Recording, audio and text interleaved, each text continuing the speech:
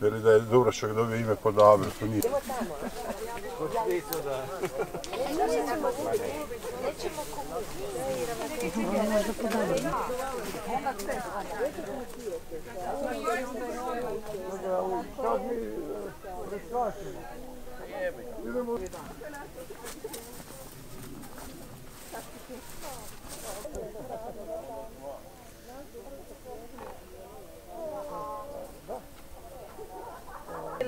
Sad ćemo naći odgovor.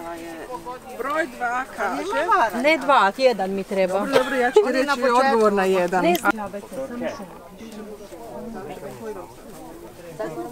Moramo naći na pet, a mislim da to ne Ime Sava.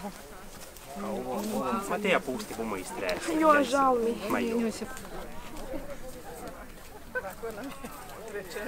Dobrodošli na otvorenje prvog posavskog kukuruznog labirinta Hrvatica.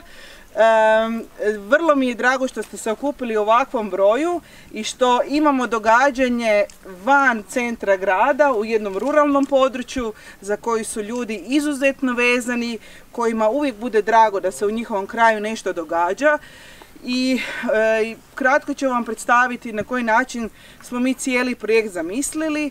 E, nakon mene kratko će par riječi reći Rosana Škrgulja, ravnateljica muzeja, zatim gospođa Gordana Demirović iz Poljoprivrednog instituta Osijek, po čijem proizvodu zapravo i hodamo.